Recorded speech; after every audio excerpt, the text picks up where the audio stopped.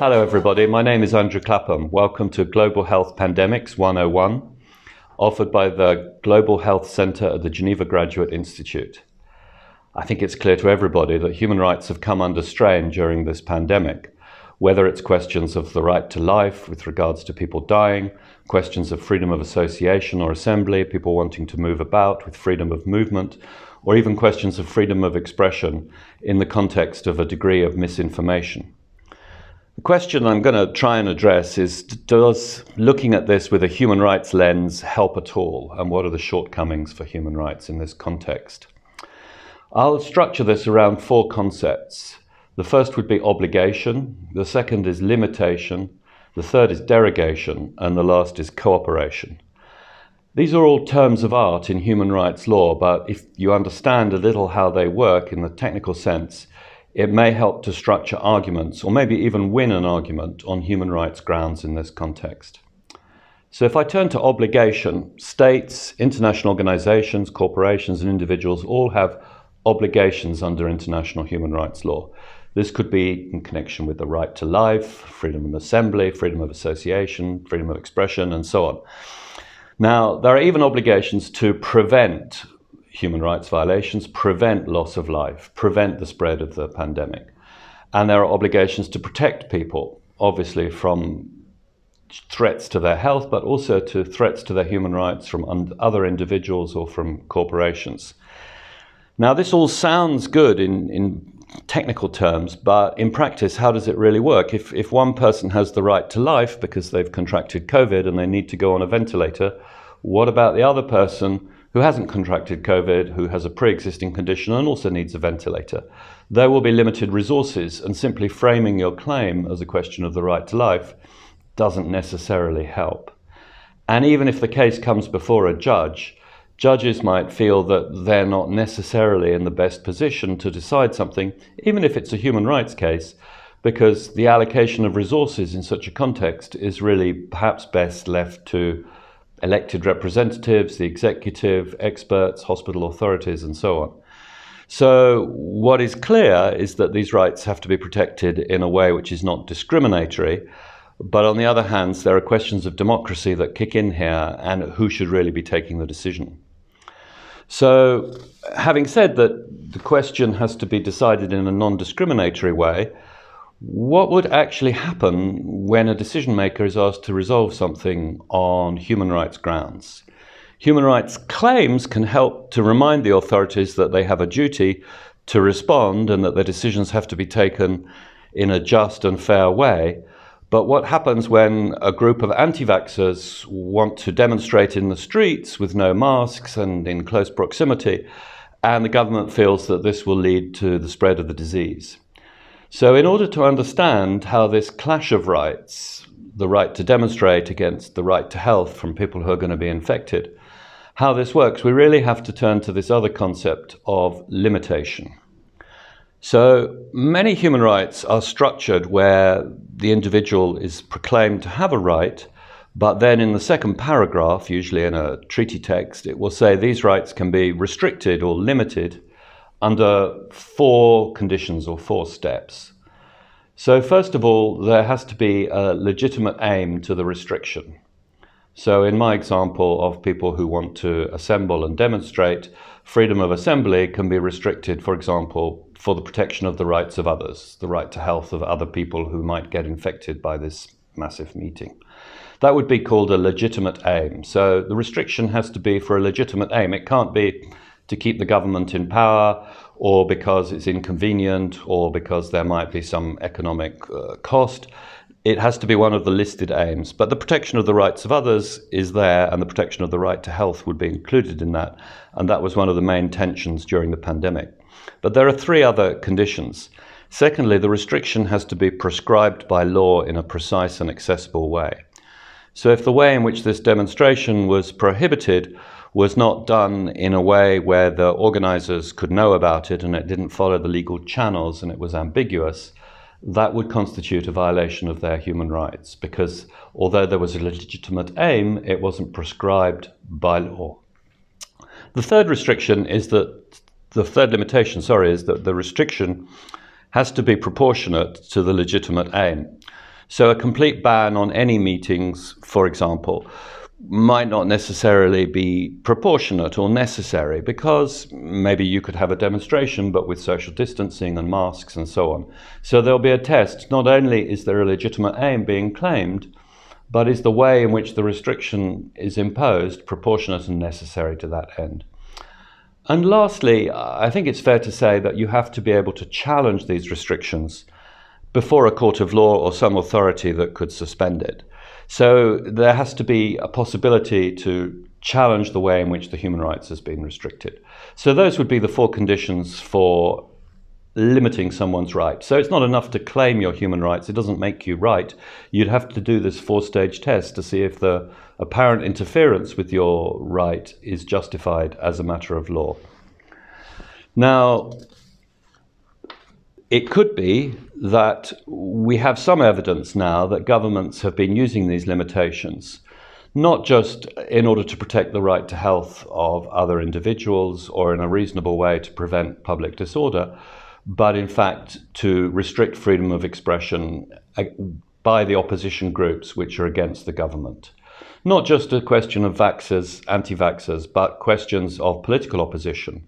So there's been, I think it's fair to say, a degree of opportunism by certain governments to say, because of COVID, we have to close down public demonstrations, we have to close down freedom of expression, we have to close down NGOs, we have to close down political debate, we have to close down certain things on television, and so on. And often that is phrased in the language of public emergency. Now, that brings me to the third topic, which is derogation. Again, this is a term of art and it's quite a formal process that a government can claim that if there is a threat to the life of the nation and a public emergency, and arguably a pandemic could constitute such a threat, that not only can rights be limited, but they can be derogated from in a much more draconian way. So, in addition to that limitation, it may be that there is a blanket ban or even restrictions on fair trial or questions of detention, which go way beyond the normal set of limitations that apply in human rights law.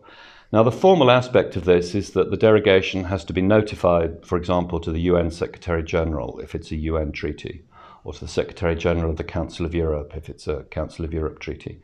And it has to detail which rights are being derogated from and the extent to which this is necessary in the face of the emergency.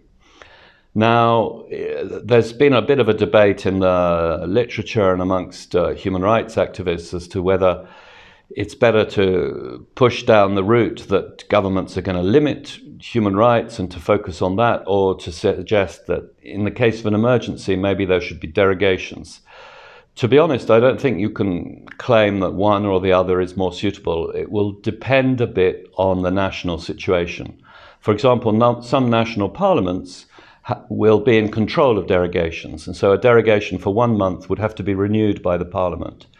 So it might be arguably better to have human rights limited through derogation because then there's some democratic control over how long the derogation lasts and what is the content of the derogation, whereas the limitations could just pass without much scrutiny because to challenge them could take years of process through the courts. Those are sort of technical issues which would have to be decided on a case by case basis. My point is, when people say human rights can be limited, you would use the four tests that I referred to earlier. And when people are talking about derogation, it's a rather different legal regime. Now, the last part I wanted to talk about is cooperation. Um, this raises a whole series of obligations on states under treaty law, which oblige them to cooperate in the context of a pandemic on research, on sharing medical equipment, on sharing supplies, um, protective clothing, and so on, but also to coordinate amongst themselves to reduce the economic impacts of the pandemic.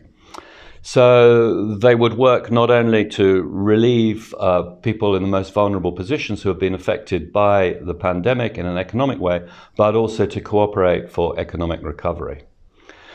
This could also refer to the voting powers of states in a body like the IMF, the International Monetary Fund, or the World Bank, so that development projects or loan arrangements or loan relief should be organized in a cooperative way, respecting the human rights of those most affected by the pandemic, not only in the countries that are voting, but in the countries most at risk. That's obviously hard to enforce, but it's worth reminding states that they have this obligation when they meet in an international context. Now, lastly, the most tricky area to explain, but also because it's a moving uh, target, is the obligation on states to ensure that everybody has access to the vaccines. And that in turn might imply reducing the intellectual property rights of companies that have invaded, invented the vaccines. So there's currently a discussion going on at the World Trade Organization to ensure that there is a waiver of intellectual property rights so that vaccines can be reproduced or manufactured in other countries outside of the normal places where they're being manufactured under copyright or under patent, I should say, and then distributed um, at low cost to all the people who would need them. Obviously, in the Western world, the rate of vaccination is quite high, but in the global south, it is particularly low. And part of this relates to the cost of the vaccines and the demands by some Western states, as well as the companies, that their copyright or their uh, patent or their intellectual property rights are protected. Now, that obviously produces a clash of rights. There are intellectual property rights on the one hand and the human rights of people on the other side. What the Economic, Social and Cultural Rights Committee of the UN has said or reminded us is that intellectual property rights are not human rights. They're a social product, they are a way of rewarding research, but they don't rank, if you like, in quite the same way as human rights. On the other hand, these are legally protected rights which states have pledged to uphold through a treaty. So they have to waive those rights in the context of this WTO treaty called the TRIPS Agreement. What um, the UN Committee on Human Rights, oh, sorry, on Economic, Social, and Cultural Rights has said is because these intellectual property rights have a social function, consequently, states parties have a duty to prevent intellectual property and patent legal regimes from undermining the enjoyment of economic, social, and cultural rights. From my perspective, these are two competing regimes and human rights can be used to argue that states should change their mind about how they are insisting on intellectual property rights at the WTO. But it is very hard to go before a court of law and claim that these human rights should override intellectual property rights, just as one shouldn't claim that intellectual property rights can override these economic, social, and cultural rights. From a moral perspective, obviously the right to life is the most important lie, right and we can argue, I think, quite convincingly that states ought to do everything they can to protect the right to life, and reducing these intellectual property rights is obviously part of that demand. So I hope I've helped to show a little how you can use human rights argumentation. There are these four concepts to repeat obligation, limitation, derogation, and cooperation, which do quite different things. They're terms of art in law, but once you understand them, you might be able to make a convincing human rights case which will protect the dignity of individuals in the context of a global health pandemic. Thank you very much, and we will now turn to the quiz.